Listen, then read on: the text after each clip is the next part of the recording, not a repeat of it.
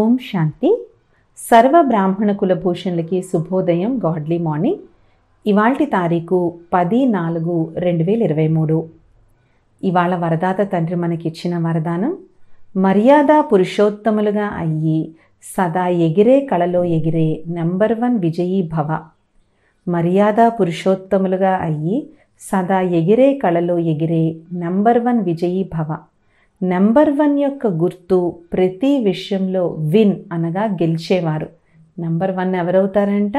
ప్రతి విషయంలో విన్ అయ్యేవారు. ఏ విషయంలో అయినా ఓడిపోరు సదా విజయులుగా ఉంటారు. ఒకవేళ నడుస్తూ నడుస్తూ ఎప్పుడైనా ఓడిపోతే అందుకు కారణం మర్యాదలలో హెచ్చు తగులు అవ్వడం.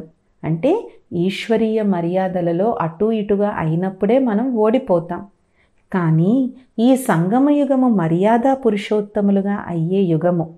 పురుషుడు కాదు స్త్రీను కాదు కానీ పురుషోత్తములు సదా ఈ స్మృతిలో ఉంటే ఎగిరే కళలో వెళ్తూ ఉంటారు. సో పురుష స్త్రీ అనేటువంటి మర్యాదల కన్నా పురుషోత్తమాత్మన్ అనేటువంటి మర్యాదలు ఏవైతే ఉన్నాయో మన ఈశ్వరీయ మర్యాదలు అవి మనకు గుర్తుండాలి. అలాగే మన భవిష్యత్తులో మన స్వరూపం ఏంటి మర్యాద పురుషోత్తమ స్వరూపం. వీటిల్లో ఉండాలి. అప్పుడు ఎగురుతూ ఉంటాము. క్రింద ఆగిపోరు. ఎగిరే కళలోని వారు ఒక సెకండ్లో అన్ని సమస్యలను దాటుకుంటారు. దీన్నే బాబా సెకండ్లో జీవన్ముక్తి అని అంటారు. అంటే సెకండ్లో ఆ పరిస్థితి నుంచి మనం ముక్తి అయిపోతాం. ఎప్పుడంట? మర్యాదలు అనేటువంటి హెచ్చు తగ్గులు లేకుండా సదా మర్యాద పురుషోత్తములుగా ఉన్నప్పుడు.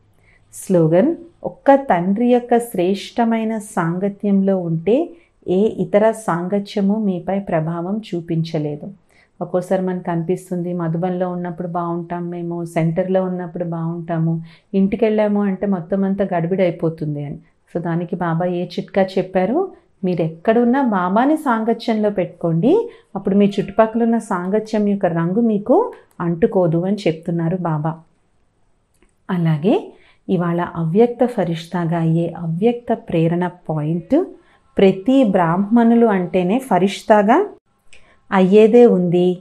ఈ కంబైన్డ్ స్వరూపం యొక్క అనుభవమే విశ్వం ఎదురుగుండా మిమ్మల్ని సాక్షాత్కార మూర్తిగా చేస్తుంది.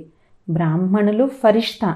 ఈ స్వరూపం కంబైన్డ్గా ఉన్నప్పుడే మనం విశ్వం ముందు సాక్షాత్కారమూర్తులం అవుతాము. బ్రాహ్మణుల నుంచి ఫరిష్ట. ఈ స్మృతి అనేటువంటిది నడుస్తూ తిరుగుతూ మీ యొక్క వ్యక్త శరీరాన్ని కానీ వ్యక్త దేశంలో ఉంటూ పార్ట్ నటిస్తున్నా కూడా బ్రహ్మా బాబా యొక్క సాథిగా అవ్యక్త వతనం యొక్క ఫరిష్ట అవ్యక్త వతనం యొక్క రూపధారిగా అనుభవం అవుతూ ఉంటుంది. సో బ్రాహ్మణ్సో ఫరిష్ట అనేటువంటి స్మృతి ఉన్నప్పుడు మనం ఉండేది సాకార ప్రపంచము.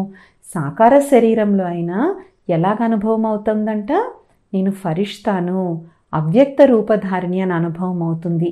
ఈ అవ్యక్త